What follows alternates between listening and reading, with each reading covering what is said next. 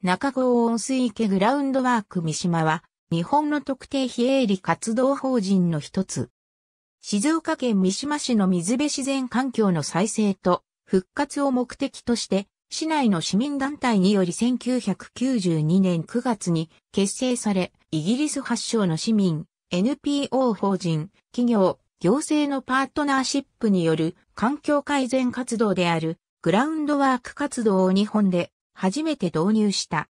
源米側環境悪化に問題意識を持った市内の8市民団体が水辺自然環境の再生と復活を目指し、1992年9月にグラウンドワーク三島実行委員会を発足させた。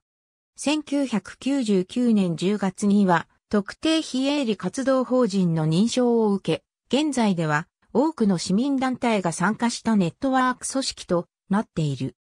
これまでにドブ川と化した源米川の再生、市内から姿を消した水中下、三島バイカモの復活、ホタルの里づくり、学校ビオトープの建設、住民主体による手作り公園の維持管理等、60カ所以上のプロジェクトを実践している。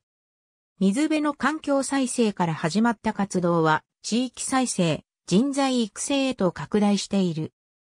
現在は地域の人的資源、環境資源を活かし、間伐材を活用した木、竹製品作りや有給農地を活用した三島そば栽培などの環境コミュニティビジネス、中心市街地の空き店舗の活用による賑わい再生、実践地を活用した社会的企業や街づくりの担い手育成、国際環境交流、被災地の子供の心のケアを目的とした東日本大震災、熊本地震復興支援、子供を元気に富士山プロジェクトなどに取り組んでいる。